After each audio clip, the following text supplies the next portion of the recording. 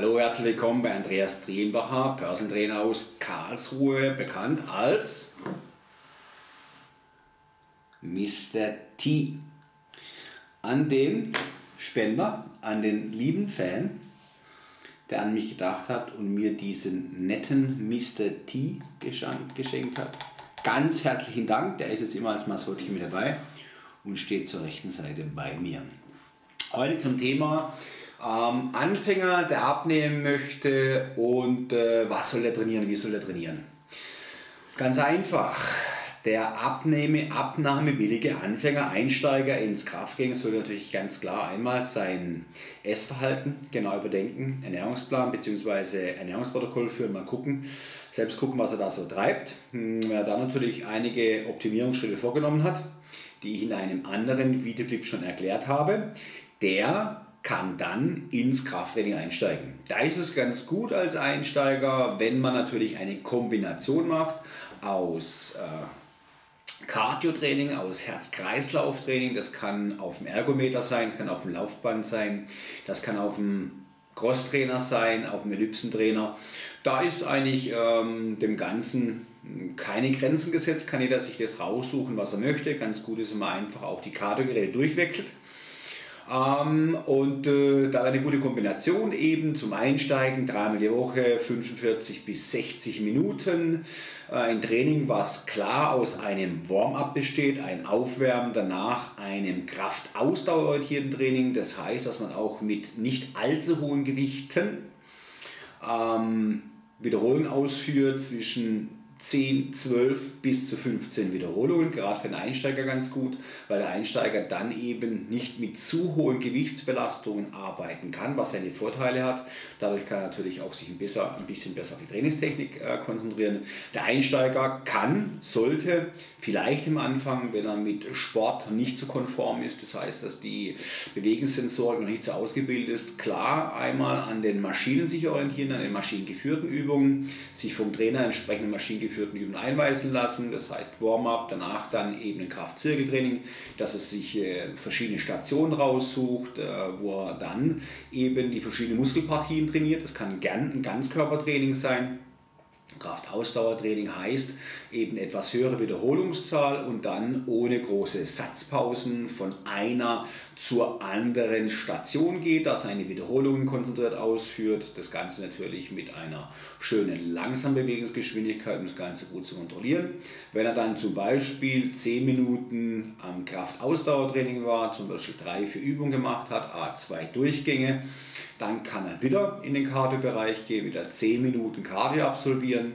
Das kann natürlich für den kompletten puren Einsteiger, für den Sportneuling natürlich ein Training sein, wo er in einer gleichbleibenden Herzsequenz sich äh, aufhält, das heißt sich befindet. Das bedeutet, dass er eben auf dem Ergometer sitzt und mit einer gewissen Drehzahl von 70, 80, 85 Umdrehungen, äh, je nach Alter, eine Herzsequenz von maximal zwischen 120, 140 abliefert. Das ist natürlich immer etwas altersabhängig, das heißt, umso jünger ich bin, umso höher darf es natürlich auch sein, die Herzfrequenz. Man geht da aus, davon aus von 220 minus Lebensalter und davon zwischen 65 und 75 Prozent abliefern. Das ist ganz gut für einen Einsteiger. Nochmal, das heißt Warm-up 5 bis 10 Minuten, globales Aufwärmen auf dem Ergometer Crosstrainer, was auch immer. Danach dann eben ein Parcours mit Kraftzirkeltraining zwischen 10 und 15 Wiederholungen, schön langsam ausgeführt, 3 bis 4 Übungen der Station. Danach nochmal aufs Kardiogerät für den puren Einsteiger eben die gleichbleibende Herzfrequenz wie besprochen. Danach nochmal ein 10-minütiges Kraftzirkeltraining, auch wieder verschiedene Stationen und danach nochmal abschließend 10 bis 15 Minuten ein gleichbleibendes Herz-Kreislauf-Training mit gleichbleibender Herzfrequenz. Es sollte so gemacht sein, dass man den Trainingstag krafttrainingstechnisch eben auf jeden Fall mal die Hauptmuskelgruppen trainiert, die Beine, den Rücken, die Brust, die Bauchmuskulatur, die Rückenstreckmuskulatur, die Bizep, die Trizep, die Schultermuskulatur. Das wäre mal wichtig. Und wenn man dann 8, 10 bis 12 Wochen sich in diesem Modus befunden hat, sollte man dann auch umsteigen, wenn es möglich ist, wenn ein Trainer da ist, der eine Ahnung hat, da sollte er dann einweisen ins Freihandeltraining. Entscheidend, wann man im Freihandeltraining anfängt, ist natürlich, äh, wie gut die Bewegungs-, Motorik, Sensorik ausgebildet ist, wie gut ihr äh, das Ganze absichern könnt, die Freihandelbewegungen, und dann könnt ihr einsteigen, Stück für Stück, Step by Step im Freihandelbereich. Im Freihandelbereich ist es unbedingt notwendig, dass ein Trainer mit dabei ist, der euch diese Übungen zeigt. Oder es gibt da einen im Internet, der heißt Mr. T und der hat nette Videoclips zum Thema Trainingstechnik und wie man die Übung richtig ausführt. Das wäre so mal für den Einsteiger ein, ein Trainingsprogramm, mit dem man mal beginnen kann.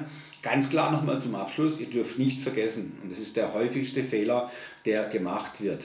Es wird dann eben trainiert, dreimal die Woche, viermal die Woche, aber auf die Ernährung keine Rücksicht gelegt. Die Ernährung ist der wichtigere Faktor. Ihr solltet schon auf beiden Baustellen arbeiten. Das größere Hauptaugenmerk auf Dauer solltet ihr im Bereich des Essverhaltens haben. Warum? Weil ihr sieben Tage die Woche, wenn es gut geht und wenn es optimal wäre, drei Mahlzeiten pro Tag habt mindestens. Und dann habt ihr 21 Mal die Möglichkeit, hier euch optimal mit den gesunden und allen relevanten Nährstoffen versorgen. Manchmal ist halt so, dass man ein, zwei Wochen nicht trainieren kann. Wenn man dann trotzdem sein Essverhalten einhält, geht nichts schief.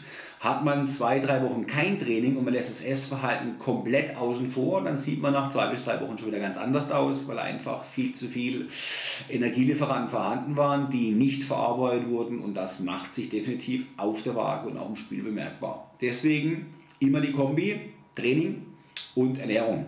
Für den Einsteiger reichen natürlich ganz klar ein dreimaliges Training in der Woche von 45 bis 60 Minuten ist in den ersten 8 bis 10 bis 12 Wochen völlig ausreichend, das reicht. Nicht übertreiben, Step by Step vorgehen. Ihr habt nichts zu verlieren. Und deswegen ist es ganz gut, wenn man nicht mit zu hoher Motivation reingeht und sich hier natürlich ausbrennt, ausburnt und dann schon nach drei, vier, fünf, sechs Wochen nicht mehr kann. Deswegen teilt eure Kraft auf. Das war's. Andreas Trientbacher, Körpertrainer aus Karlsruhe. Mr. T zum Thema der Einsteiger, der Gewicht reduzieren möchte. Wie sollte dieser trainieren?